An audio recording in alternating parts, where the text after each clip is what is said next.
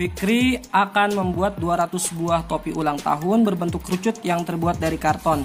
Panjang diameter topi 30 cm dan tingginya 20 cm. Luas karton minimal yang diperlukan adalah berarti ini kan kaitannya sama kerucut karena topi ulang tahun itu berbentuk keru kerucut. Kita gambar kerucutnya. Oke, saya sudah buat gambar kerucutnya. Nah, di sini ada diameternya ya. Diameternya katanya 30. Diameter kan dari ujung ke ujung 30. Berarti karena diameternya 30 berarti jari-jarinya kita pakai 15. Tingginya berapa? Tinggi siapa? Tinggi si kerucutnya. Tingginya 20.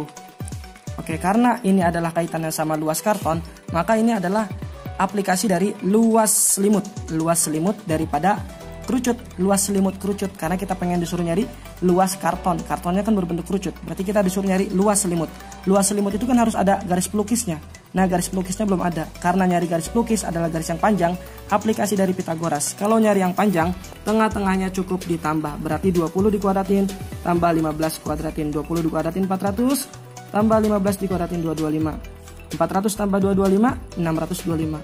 Akar 625 adalah 25. 25. Berarti S-nya nanti 25 cm. Kita sekarang tinggal nyari rumus luas selimut. Kita cari luas selimut, rumusnya VRS. Nah, karena kita bikinnya 200 topi, berarti kita kali 200. Berarti VRS dikali 200. Kita masukin angka-angkanya. V-nya kita pakai 3,14 karena jari-jarinya adalah 15, bukan kelipatan 7.